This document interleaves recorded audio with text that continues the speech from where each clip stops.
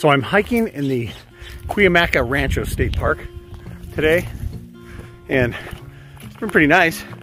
It's hot, but when you get up on the hills, it's get a little bit breezier. Breezier. Um, but I've been kind of going up this hill for a while. It's not a huge hill, just a little bit of a hill.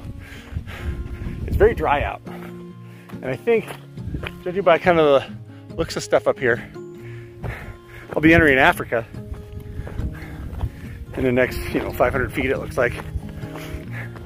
The African tundra, where I expect to see some zebra, bears, well, not bears, zebra, uh, antelope, what else? Some monkeys, things like that. I'll show you when I get there.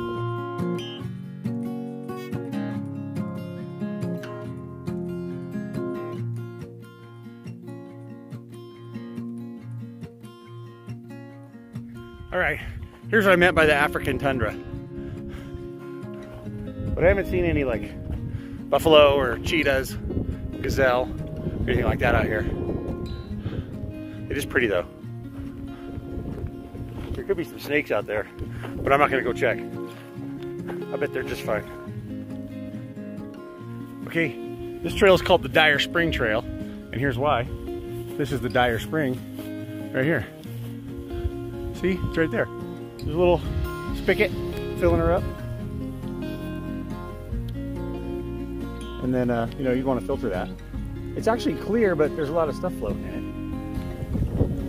it. Anyway, uh, there's like an intersection here, and I don't know which way to go, so I got to figure that out.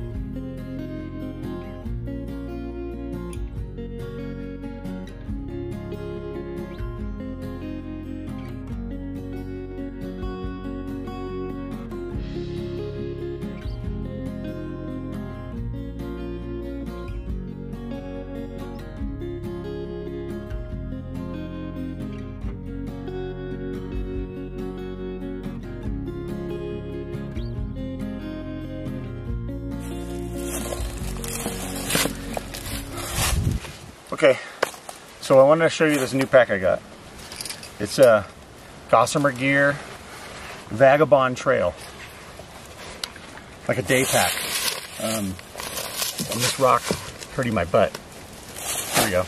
Anyway, this is the Vagabond Trail Gossamer Gear Day Pack. Um, I wanted to get a new day pack. Um, I had an Osprey uh, Daylight just for day hikes and stuff, but it was kind of you put a little bit of weight in it and it started to hurt your shoulders and just wasn't very comfortable. So I wanted something just a little bit girthier. It's not ultra light by any means. This thing weighs 18 and a half pounds empty. Um, it holds 23 liters. Very, very comfortable. I really like it. Um, so let's look at what kind of stuff it's got on it. So in the front, it's got a it's got a lot of the features that you like on your backpacking pack too. That's what I like about it. It's got a big old front meshy pocket. And in here I got, what do I have in here? An app, a little baby apple. And I have, ooh, ooh, um, a camera lens, my telephoto, my zoom, zoom telephoto. I've got, ooh, my headphones in case I want to listen to music and a fruit and vegetable pouch, headphones, um, some orange peel. We will not leave that here. Um, granola bar. Basically, I put my snacks in the front. Um, it's got, right above that, it's got a little zipper for your stuff you don't want to lose, keys, things like that, and it's got a thing here to hook your keys to or whatever if you want to do that. Um, and I didn't put anything in there. That's good. That's nice. Okay, it's got uh, compression straps on the side. So if you got a pretty heavy load or you got a lot of stuff in here, you can squish it down. Um, I have not even touched those. So they're like squished down all the way and I don't have very much stuff in here. Um, of course, you got good deep side water bottle, pockets. I got a smart water bottle here. It's almost empty. Um, you can, you know, lashing loops around the outside. Um, water bottle pocket on this side. Um, on the back, got just like these like support gizmos here and it lets you like where your spine goes through a little bit of air in there Makes it a little more comfortable, some padding. It's nice. Um, on the shoulder straps, we've got these Gossamer Gear typical uh, stretchy pockets that my cell phone fits great into right here. This is an S10, Galaxy S10, and it fits in there nice. Um, and the straps are plenty wide. I don't know how, those, those have got to be like two and a half, three inches. They're huge, um, which is great on your shoulders. I like that. It makes it a little bit more area for sweat, but um, I like it because it's just more comfortable. And I've got my um, my camera thing on here, which is being used to shoot this film right now, um, which is my uh, quick release camera holder. What oh, it's a Peak Designs. That's what it's called. The Peak Designs camera holder. Um, or you can put anything on there that screws into that screw, that quarter 20 screw. Okay, and we got the standard, where is it? Oh, the uh, standard sternum strap. That's what we want. We got that on there. No whistle, no whistle there. Um, okay, let's flip it around again. Um, on the top, it's got like this double handle thing, um, which kind of makes it look like a grocery bag. But when you reach down and grab your pack off the ground or wherever, man, it's it's pretty handy. I like it. So I'm good with that. We always kind of had one on the back, you know, like on the back, but this one's got two. So it makes it a nice handle. You could even use this as a grocery bag if you wanted to. This is like do anything, go anything, go anywhere, grab it, go. Okay, on the top, this part's a little weird. This part I gotta tell you is a little bit weird. Um, it's got like the zipper is like recessed down in the top. So when you lift it up, so I can show you, when you lift it up, it kind of it kind of makes like a like a like a sack on the top. So I imagine if you were wearing this in the rain, rainwater would sit in here, would sit in here on the zipper. Now I think the zipper's waterproof. It looks like it is, pretty waterproof. Um, so I think water would kind of sit in there and like form a little bucket. So I'm not really sure why they did that, but if you filled it full of stuff enough, it would push up and then you wouldn't have that problem. So inside this 23 liter pack, um, I got a bandana. Um, I got my sun shirt. Nuts and snacks. I brought a water filter because I knew there was a spring on this trail and I didn't know if I was going to run out of water or not. I haven't been here in a long time, so I forgot. Um, I got some protein bites. Geez, I brought a lot of food. Um, oh, I got my buff. Never leave home without it. I have, ooh, a little orange and another little baby apple.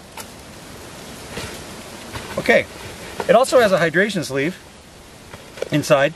Um, let's see if it has a hydration port. I don't think it does.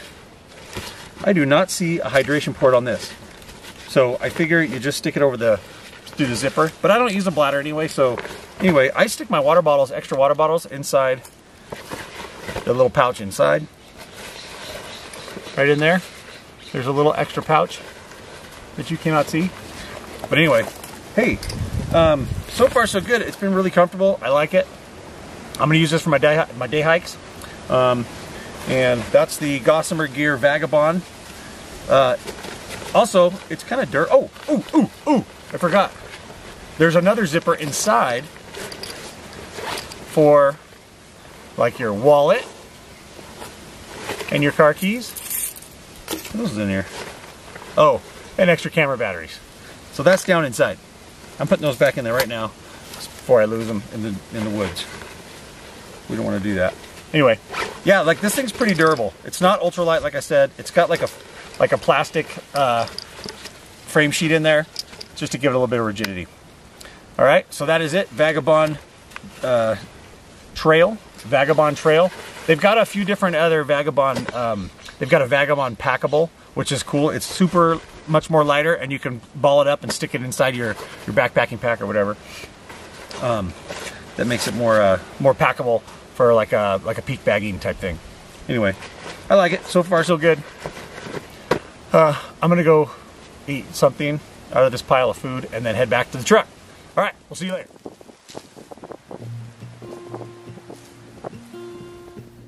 Hey, something else I want to tell you. This uh, Gossamer Gear pack is made out of 100D uh, ripstop. It's pretty durable. It's very thick. Um, and also, it'll hold about 15 to 20 pounds. Because I was reading the thing, because I forgot to tell you, And I was reading the thing um, as I was walking, and I thought, well, I'll just tell you now. So that's what you get. If I think of anything else, I'll tell you as I'm walking back to the truck. You know, I was in the shade, now I'm in the heat. That sucks. But yeah, also, they have another one. They have the Vagabond Jet, which is kind of just like this one, but it's um, like girthier for like travel and business, things like that. I think you can get a laptop in there. It's a little bit bigger. Ooh. So they got the Vagabond Jet, they got the Vagabond Trail, and they got the Vagabond Packable, which crumps up into a little ball. And then of course, they got like um, some more minimalist packs. Um, go check it out. Gossamer Gear.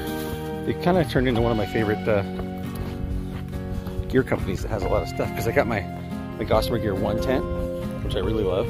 I also have my Gossamer Gear Twinn Tarp, which I really like, but um, I don't have a lot of, I like it, I like it. I like the way it sets up, it's so easy, it's tiny. Um, I've only used it in fair weather, so I don't know what would happen if I was like in the snow and stuff, so, that's my hand.